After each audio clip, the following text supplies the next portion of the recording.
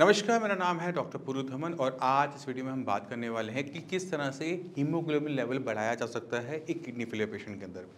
Kidney failure patient के अंदर खून की कमी होना ये एक आम दिक्कत है। जब हमारे शरीर में खून की कमी होती है तो बहुत सारी कॉम्प्लिकेशन को हमें अननेसेसरी ही झेलना पड़ता है। सबसे बड़ी कॉम्प्लिकेशन आती है वो है सांस फूलने की।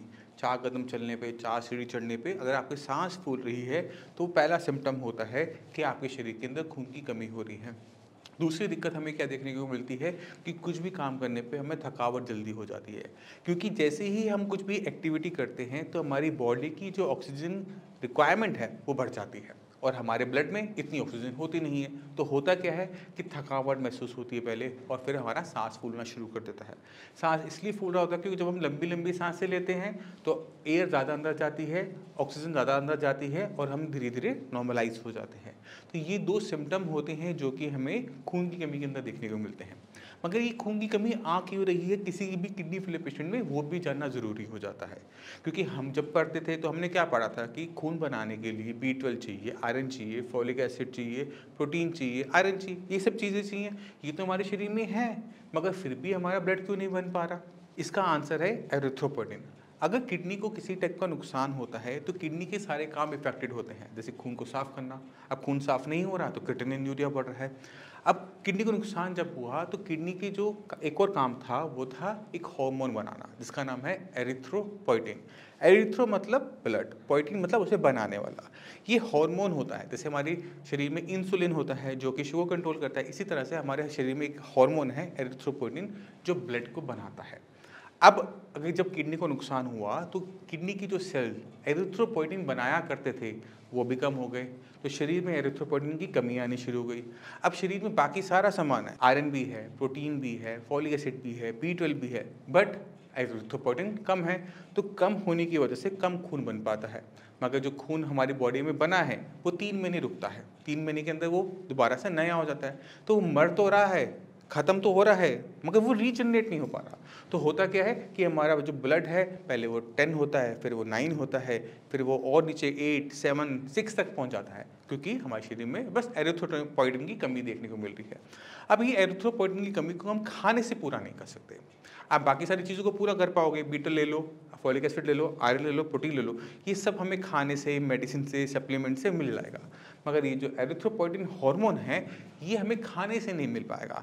इसके लिए हमें क्या करना पड़ता है किडनी फेलियर पेशेंट में, कि एरिथ्रोपोइटिन हार्मोन बाहर से देना पड़ता है। जैसे अगर आपके शरीर में डायबिटीज़ है तो हमें इंसुलिन का इंजेक्शन लगाना पड़ता है, जबकि इंसुलिन भी हार्मोन है।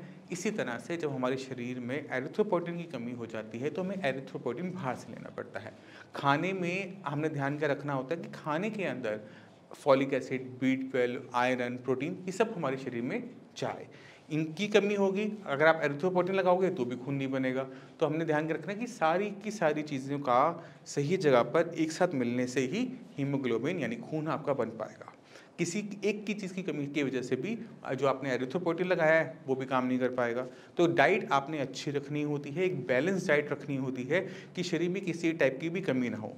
और जिनको ये नहीं पता है कि किडनी फेलियर पेशेंट को किस तरह की डाइट को फॉलो करना चाहिए डाइट में क्या लेना चाहिए, किन चीज़ों से बचना चाहिए, मैं चाहता हूँ कि ऊपर दिए हुए लिंक पे जाकर वो जो डाइट पे जो कंप्लीट वीडियो है, उसको एक बार गो थ्रू हो जाए, जिससे उन्हें बहुत क्लियर कट आइडिया मिल जाए कि किस तरह से हम क्रिटेनिन यूरिया को डाउन कर सकते हैं और किस तरह से अपने हीमोग्लोबिन लेवल्स को सुधार सकते हैं। अब एरिथ्रोपोइटिन हमें कितनी अमाउंट में लेना है, ये बहुत इंपॉर्टेंट हो जाता है।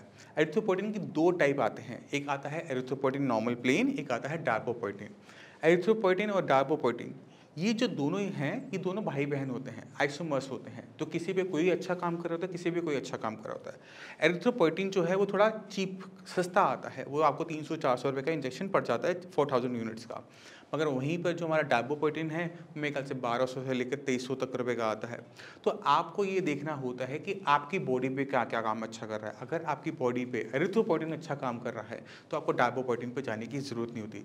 जहाँ पर एरिथ्रोपोइटिन अच्छा काम नहीं कर पाता, वहाँ पर हम डायबोपोइटिन सजेस्ट करते हैं कि आप डायबोपोइटिन का इंजेक्टेबल स्टार्ट कीजिए। तो आपने ध्यान क्या देना है कि स्टार्ट विद द एरिथ्रोपोइटिन अगर वो काम नहीं करता तो डायबोपोइटिन पर जाएँगे। यूनिट्स का बात कर लेते हैं यूनिट्स के बारे में। एरिथ्रोपोइटिन की जो यूनिट्स होती हैं, वो चार हज़ार, दस हज़ार यूनिट्स में इस तरह से आता है। तो आपने ये देखना होता है कि चार हज़ार यूनिट लेने पे अगर मेरा हीमोग्लोबिन लेवल मेंटेन हो रहा है तो दस हज़ार पर बढ़ जाएगा।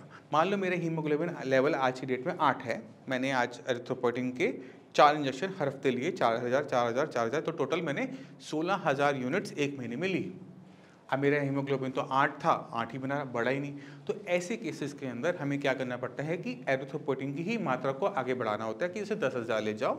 मात्रा ज़्यादा होगी तो हो सकता है कि हमारा हीमोग्लोबिन लेवल बढ़ना शुरू हो जाए। अगर हमारा हीमोग्लोबिन बढ़ना शुरू हो जाता है तो हम एरोथोपोटिन टेन थाउज़ेंड की यूनिट्स को लेते रहते हैं। और अगर हम ये देखते हैं कि हीमोग्लोबिन फिर भी नहीं बढ़ा, फिर जाकर हम टाइपोपोटिन पे जाते हैं क्योंकि वो थोड़ा सा कॉस्टली हो जाता है। दोनों ही अच्छा काम करते हैं बॉडी टू बॉडी वेरी करता है, मैं आपको पहले बता चुका हूँ। कोई फिक्स रूल नहीं है कि हम ये देंगे तो अच्छा काम करेगा, ये देंगे तो वो अच्छा काम नहीं करेगा, ऐसा कोई फिक्स रूल नहीं है। तो बॉडी बॉडी और फाइनेंशियल चीज़ों को देखते हुए हमने आगे बढ़ना होता। तो मैं उम्मीद करता हूँ इस वीडियो से आप काफ़ी कुछ समझ गए कि बॉडी में एर्थोपोइनिन का होना एक किडनी फेलियर पेशेंट के लिए बहुत ज़रूरी है। इसकी डेफिशिएंसी से आपका खाया पिया हुआ खाना हीमोग्लोबिन में कन्वर्ट नहीं हो पाएगा।